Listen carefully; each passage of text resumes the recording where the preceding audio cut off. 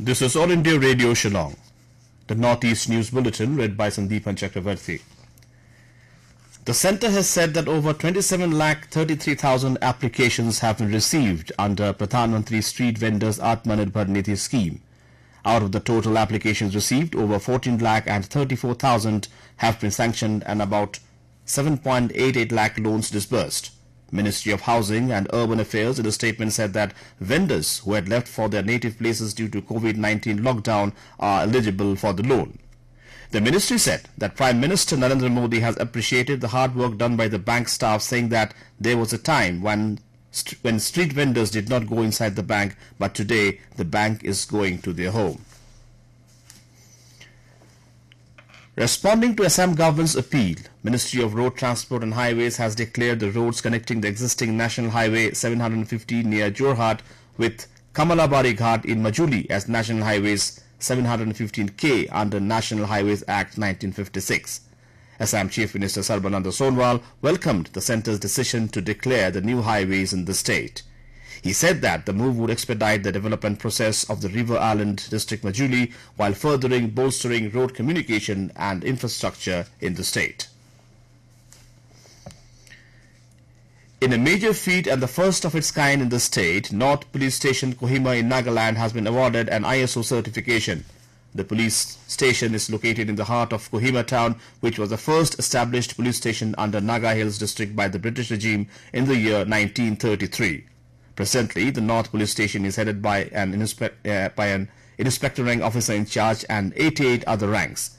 It has been awarded ISO certification meeting the specified parameters of quality management system on policing and related scope of activities, which includes maintenance of public peace, law and order, prevention, detection and investigation of crime and criminal activities, emergency response, VIP security and prevention of human trafficking.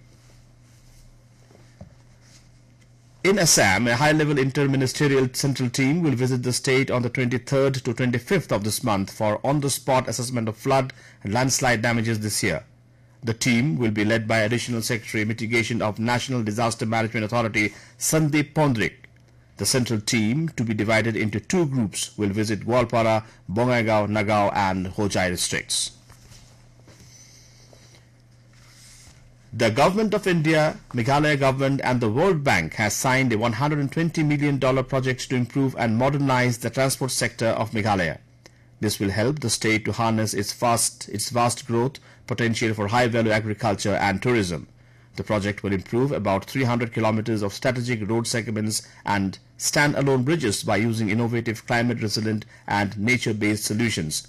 It will also support innovative solutions such as precast bridges to reduce both time and cost of construction.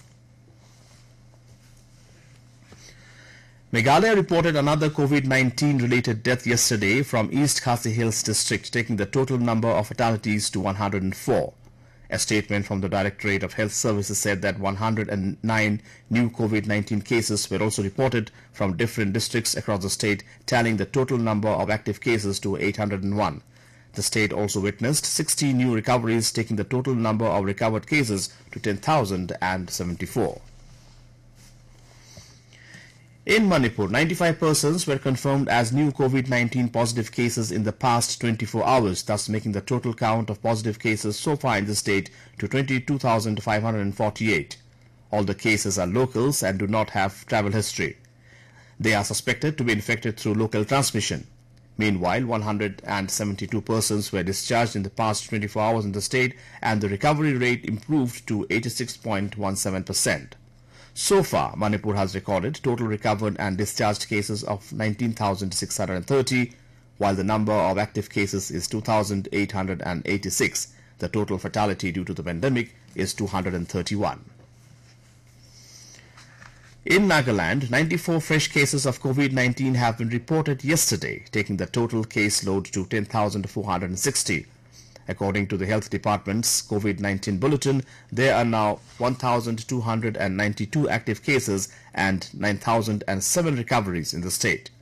Of the new cases reported yesterday, 71 cases were detected from Dimapur, 12 in Peren, 7 in Kohima, 2 in Mon and 1 each in Kiphire and Phek.